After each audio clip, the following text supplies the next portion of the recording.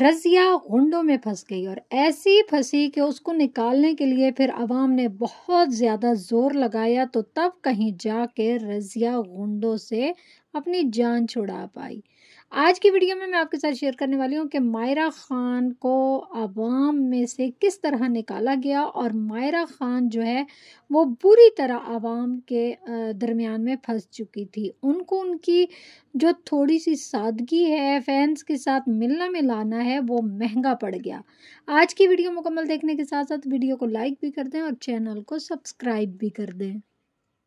ہم award show میں جو ہے انٹری کرتے وقت مائرہ خان جب لوگوں کے درمیان سے گزر رہی تھی تو وہ ہر ایک سے بہت پیار، محبت کے ساتھ مل رہی تھی۔ کچھ جاننے والے تھے، کچھ فینس تھے۔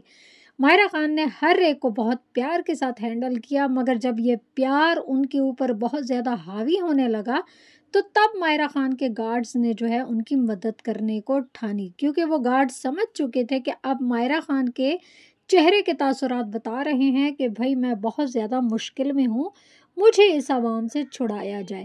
تبھی ان کے جو گارڈ ہیں وہ میدان میں کود پڑے اور مائرہ خان کو لوگوں کے جھرمٹ سے نکال کے لے کے گئے۔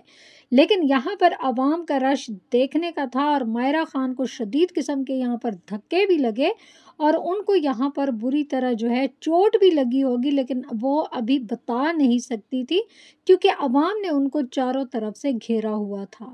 ان کے گارڈ نے ہی ان کو اور کچھ اور لوگوں نے جو مائرہ خان ہے، ان کو سیکیورٹی فراہم کی اور ان کو وہاں سے چھڑا کر لے کر گئے۔